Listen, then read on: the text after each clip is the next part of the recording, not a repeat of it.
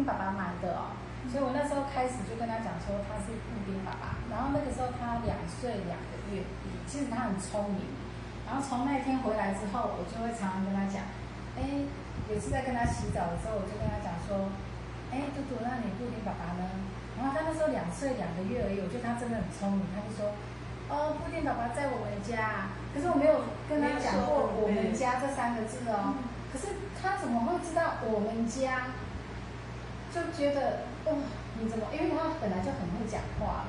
所以从那时候我就会跟他讲布丁爸爸，然后从那时候他又那么聪明，所以他就布丁爸爸、布丁妈妈、布丁哥哥，到现在上个月、上个月，啊，阿妈姑姑来，他就是哎那个布丁姑姑、布丁阿妈、布丁哥哥，我就说反正你是布丁家族，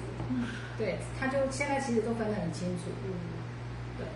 然后他也会想说他想布丁妈妈，他会讲。